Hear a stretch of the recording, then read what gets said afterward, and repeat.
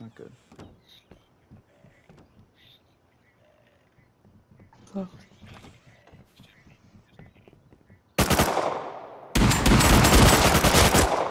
What? Oh my god, I pre-fired you.